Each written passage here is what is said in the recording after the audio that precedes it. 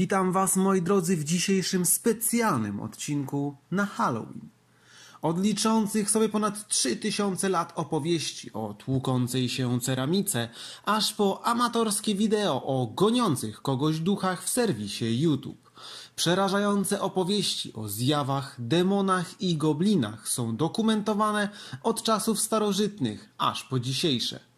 Chociaż nauka krytycznie odnosi się do wszelkich zjawisk paranormalnych, fascynują one ludzkość przez każdą szerokość i długość geograficzną. Poniżej przedstawiam Wam kilka z ciekawszych historii o duchach.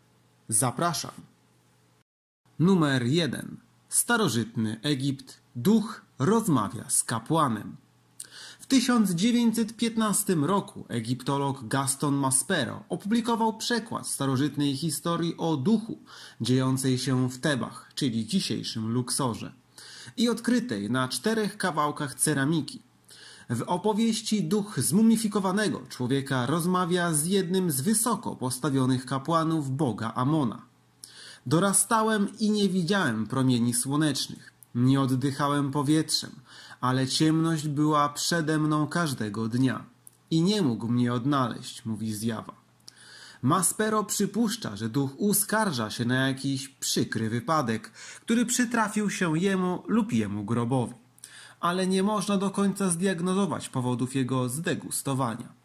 Starożytni głęboko wierzyli w życie pozagrobowe, stworzyli w związku z tym całą serię zaklęć nazwaną Księgą Śmierci, która miała im pomóc w osiągnięciu spokoju po śmierci.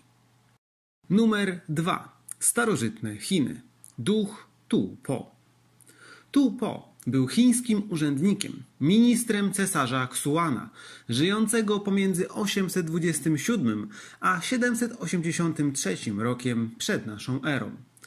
Około roku 786 przed Chrystusem, w wyniku kłótni między oboma panami, władca zabił Tupo. Mimo ostrzeżeń ministra, że ten powróci i będzie straszył cesarza. Tupo zaszkodził imperatorowi znacznie bardziej. Według relacji filozofa Mo Tzu, żyjącego między 470 a 391 rokiem przed naszą erą, trzy lata po zabójstwie, podczas waśni z lokalnymi feudałami, Xuan zginął od strzały wypuszczonej rzekomo przez ducha Tu Po. Starożytna Grecja po raz pierwszy. Człowiek w łańcuchach. Zmarły w 113 roku rzymski senator Pliniusz Młodszy opowiadał historię, która przetrwała do dnia dzisiejszego. Był sobie w Atenach ogromny dom o wielu pokojach i złej sławie. Dlatego nikt w nim nie mieszkał. W samym środku nocy dało się usłyszeć dobiegający ze środka, przypominający szczęk żelaza hałas, który, jeśli wsłuchać się uważniej, brzmiał jak grzechot łańcuchów.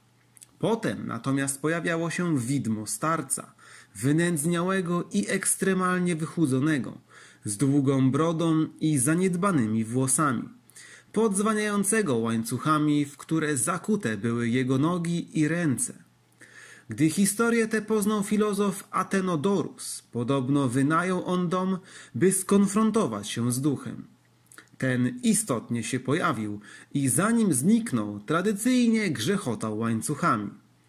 Atenodorus spokojnie zaznaczył fragment posadzki, gdzie zjawa zniknęła, a rano nakazał go skuć. Pod posadzką znaleziono szkielet człowieka skuty łańcuchami. Według Pliniusza po urządzeniu właściwego pogrzebu duch opuścił dom raz na zawsze. Starożytna Grecja po raz drugi. Zamurowana łaźnia. Opowieść o duchach dziejopisa Plutarcha, który żył między 45 a 120 rokiem, kończy się niestety znacznie smutniej niż ta rozgrywająca się w Atenach. W greckim mieście Cheronea żył chłopak imieniem Damon, w którym, jak sugerują źródła historyczne, zakochał się jeden z rzymskich dowódców. Młodzieniec odrzucił jednak te awanse, czym rozwścieczył wojskowego. Wiedząc, że zostanie zabity, jeśli nic nie zrobi, Damon wraz z grupą przyjaciół, przygotowawszy zasadzkę na Rzymianina i jego przybocznych, zabił ich. Rada Miasta potępiła czyn Damona i jego towarzyszy. Wydała na nich wyrok śmierci. Ci jednak zabili radnych i uciekli z miasta, poza którym utrzymywali się z plądrowania pobliskich wsi. Ostatecznie mieszkańcy Heronei pozwolili im na powrót, ale krótko potem Damon został zabity w lokalnej łaźni. Jak relacjonuje Plutarch, w miejscu tym wiele lat po zbrodni ukazywał się duch i było słychać jęki. Dlatego zdecydowano się łaźnie zamurować. Numer 5. Wielka Brytania, londyńska Tower. Mnóstwo opowieści o duchach związanych jest z brytyjskimi zamkami. Ogromna część tamtejszych zjaw osiedliła się w londyńskiej Tower. Niewiele pod tym względem ustępuje jej dawna rezydencja królewska Queen's House w Greenwich. Wśród duchów zamieszkujących stolicę Zjednoczonego Królestwa jest innymi Arabella Stuart, kuzynka króla Jakuba I. Arabella wyszła za mąż wbrew woli władcy, za co została zesłana do Tower i podobno już jako duch wciąż odsiaduje tam swoją karę. Według innych upiornych historii w części twierdzy, w tak zwanej Martin Tower, straszy duch niedźwiedzia. Ponoć jeden ze strażników zmarł z przestrachu, jakiego doznał po ujrzeniu zwierzęcia. Przez pewien czas w Tower istniała też menażeria, w której trzymano różne gatunki zwierząt, w tym niedźwiedzie. Numer 6. Japonia. Lasy Aokigahara. Lasy rosnące u podnóża góry Fuji w Japonii stały się dla sfrustrowanych Japończyków bardzo popularnym miejscem kończenia z własnym żywotem. Na przestrzeni dwóch ostatnich dekad znaleziono tam kilkadziesiąt ciał tych, którym to się skutecznie udało. Dzisiaj na terenie lasu funkcjonują specjalne znaki wzywające ludzi do zaniechania tak drastycznych kroków i szukania pomocy. Liczba skutecznych aktów w naturalny sposób zrodziła opowieści o pojawiających się tam zjawach. W serwisie YouTube można znaleźć relacje osób, które spotkały dusze tych, które skutecznie zakończyły doczesne życie. Numer 7.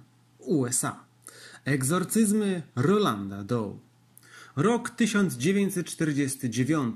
Malutka mieścina Cottage City w stanie Maryland. Chłopak, który funkcjonował w prasie pod fałszywym nazwiskiem Roland Doe, zostaje poddany egzorcyzmom prowadzonym przez grupę katolickich księży.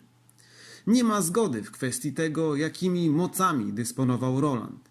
Przypisywano mu między innymi ponadludzką siłę, umiejętność lewitowania czy posługiwanie się starożytnymi językami, których nie miał prawa znać.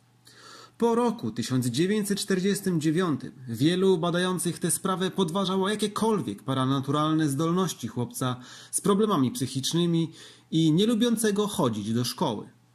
Tak czy inaczej, odbyte egzorcyzmy zainspirowały Williama Petera Blettiego do napisania w 1971 roku powieści Egzorcysta, na której kanwie powstał słynny film o tym samym tytule w 1973 roku.